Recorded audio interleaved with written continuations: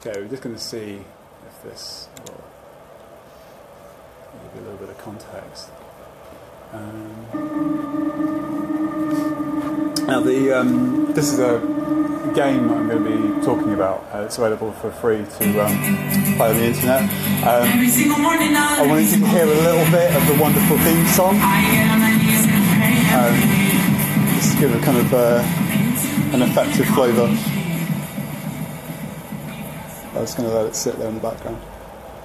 Um, yes, yeah, so this paper is about um, a contemporary aspect of horror read through a contemporary read through contemporary philosophy.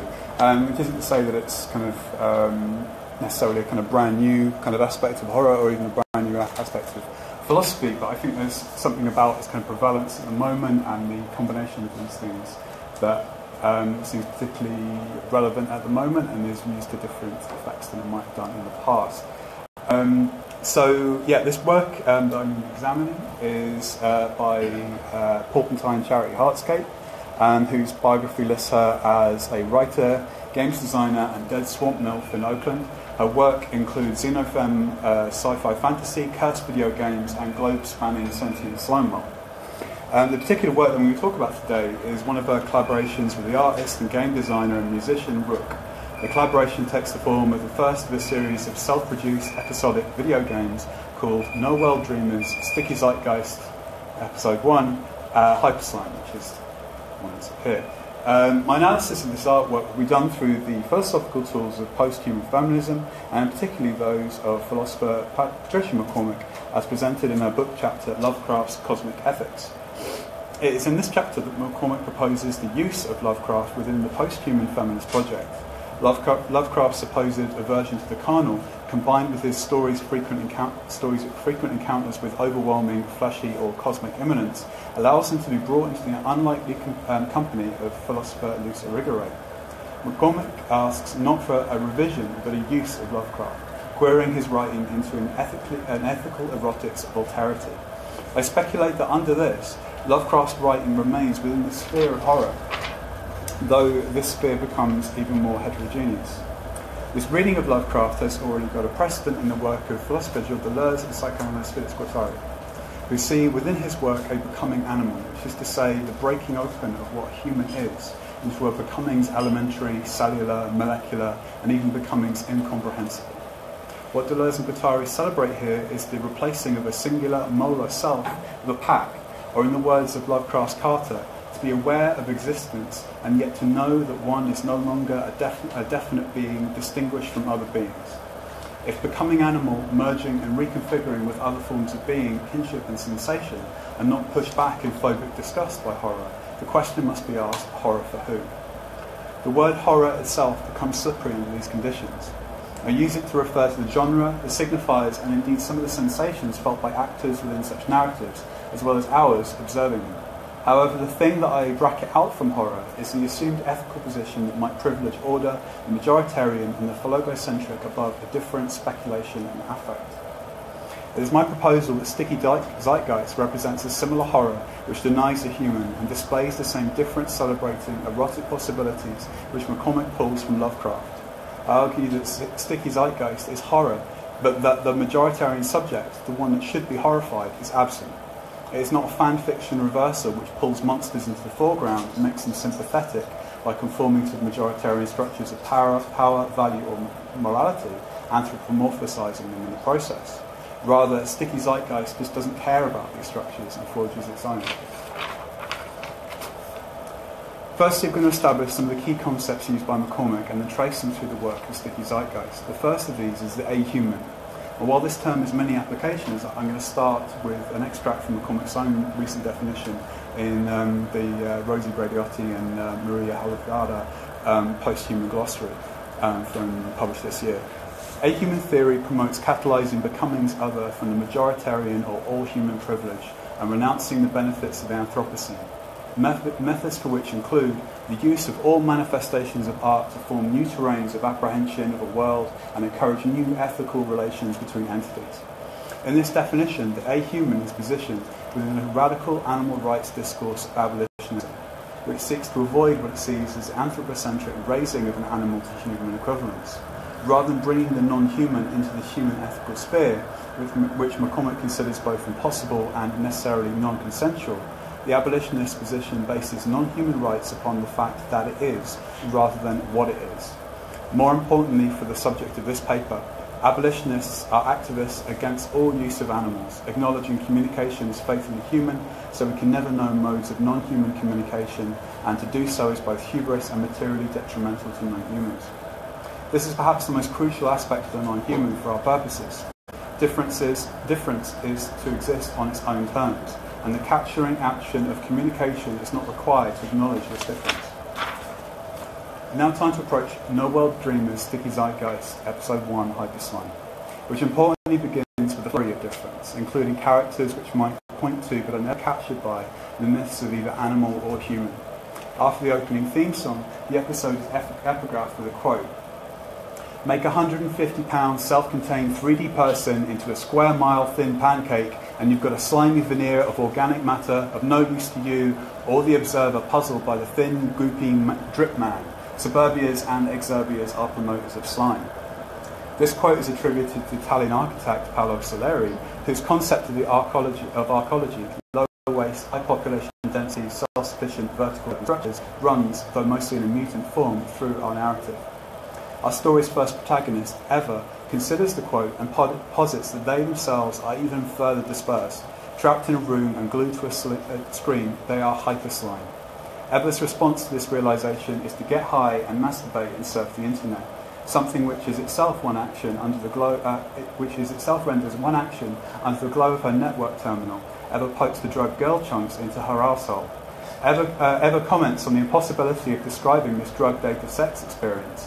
I wasn't experiencing this, I couldn't describe it, and I can't remember when I'm not experiencing uh, it, what I'm not experiencing, hyperscope growths in my frontal lobe like, before being interrupted by a telephone call from work.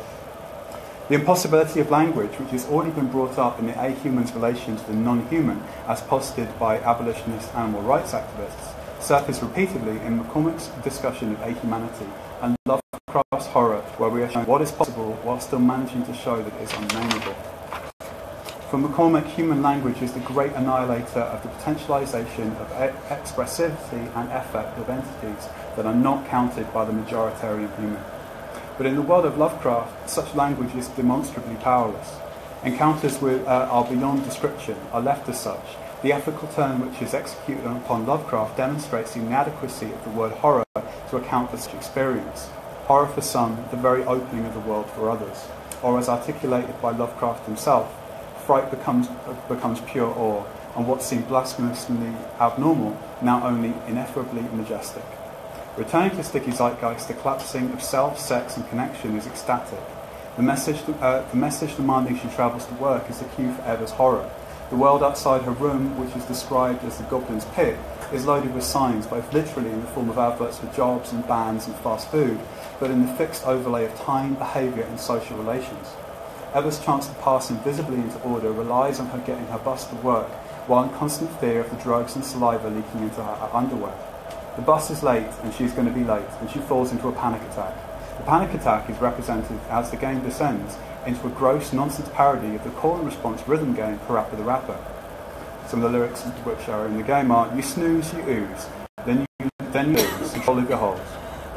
The abject, as Julia Kristeva describes, uh, that Julia Saylor describes as the place where meaning collapses is not simply the girl chunks uh, leaking from Eva, but also Eva herself. When she first sets out on her trip to work, she narrates, I exit the back of the house like shit. Eva is the remainder, and excess, who them, uh, is the remainder, and excess, who themselves cannot control either the out, keep, either keep the outside in or keep it um, or keep it out, but is in constantly asignified fight, which becomes impossible and traumatic within the unaccommodating and regimented parts of the world. As we continue to play the game, focused initially on the narrative of Eva, more signs of horror perpetuate. The first of these is the user interface, which frames the game with cables and wires and viscera weaving around it to form the screen, and a text hyperlink area, which brings to mind the mid-90s point-and-click adventure game Dark Seed with its graphics by H.R. Giger. At the top, a ribbon cable, cable is plugged in through a smashed secondary screen or logo area, leaving only a few letters of the game's title readable. In Sticky Zeitgeist, as much as in Heartscape's other work, trash pervades. Everything is a remainder, including characters. Everything is an improvised hack, survival mixed with abandonment, and most importantly, um, not fully nameable. This extends to the characters themselves. Eva is only described as a girl, but her ears and nose suggest a dog or maybe a goat. It's implied that she's trans, but none of this is cause for elaboration to the audience. Other characters display equal fluidity, maybe becoming robots, maybe becoming moths. Gender is explicit though, as all are referred to with female, pronouns. They are she, her, and often sisters. The remainder, to be in excess or, or less than names and categories, runs through Love, Lovecraftian horror. The folk of Innsmouth, the mercurial old ones themselves, or various landscapes and objects and experiences. MacCormack quotes Luce Irigaray, already constructed theoretical language does not speak the mucus. The mucus remains a remainder, producer of delirium and dereliction of wounds, sometimes of exhaustion. This connectivity, abjection, transgression is the stuff of horror, but is also the stuff of erotics and kinship. The two robot sisters in Sticky Zeitgeist sit together on a train. One, Agate, leans against the other, who narrates. She's in sleep mode. She spends most of her time there. Our brains make a lot of connections at really super hard, fast frequencies. Hard to shut out all the bad connections. Everything reminds you of something else, contaminated with information. The default state is uh, porosity, leaky bodies. The sisters block out the communication of thought and meaning but retains that of touch. Later the sleeping, later the sleeping sister will visit a 7-Eleven and watch the rotating honk dogs, re- remarking how nice it would be to be rotated. An empathetic encounter with convenience food. The character in Sticky Zeitgeist are non-human, and they are not fixed as some kind of non-human. Any encounter is a becoming animal, as everything holds an effective charge, or is a biological contaminant. As the player of the game, we're often unsure who we is, as the first-person narrative flickers between characters, often without indication of who is speaking. We have to assume that we are all of the pack, while acknowledging that this pack is constantly in flux. What stands out is that the four characters are not presented as an isolationist group, as with the majority of narratives of, survivor, survival. Their job is to travel out into luscious swamp and salvage broken parts of downed satellites and one character comments, I like to rub my face in the debris to make sure that all the radiation is getting the most direct access to my brain.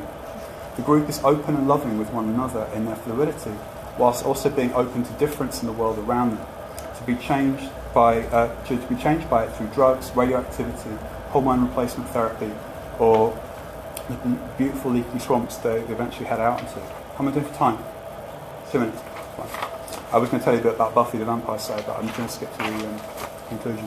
Um, in uh, 2012's Posthuman Ethics, Embodiment and Cultural Theory, MacCormack states that the art encounter elucidates the new horror and wonder of being in the asignified world as a new state of constant ecstasy.